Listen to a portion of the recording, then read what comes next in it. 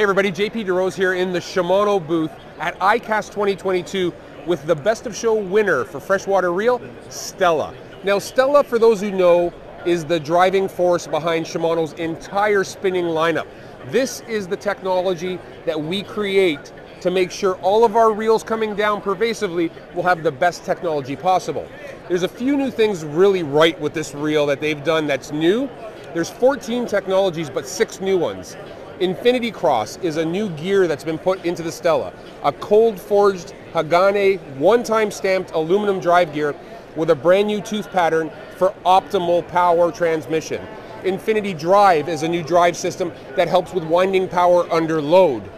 Uh, Infinity Cross is the gear, and then we also have Infinity Loop, where if you look at the Stella and spin it, how slow that spool goes up and down, ensuring line management and stacked line one next to another so when you're casting you get better distance and better control.